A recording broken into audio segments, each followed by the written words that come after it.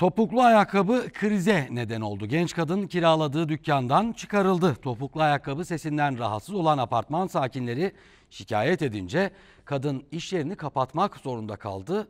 İntikamını da cama astığı notla aldı.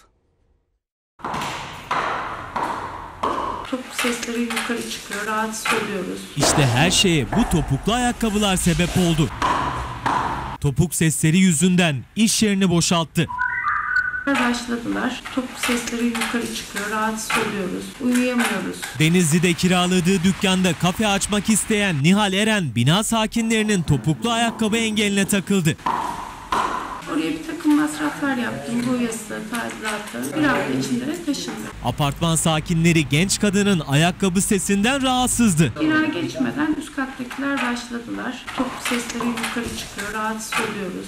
Uyuyamıyoruz. İşte topuk seslerini sayıyoruz tek tek. Birkaç kez bu şekilde şikayetler geldi. Alttan aldı ama olmadı. Bunlar çoğalmaya başlayınca ve ısrarla topuk sesleninince artık kocalarınızı kıskanıyorsunuz herhalde dedim. Kadın kiraladığı iş yerini boşaltmak zorunda kaldı. Bir hafta 10 gün sonra icra kağıdı geldi. Dükkan sahibi icraya verdi. Zabıta, polis hepsini birden yollamaya başladılar ruhsat yok diye.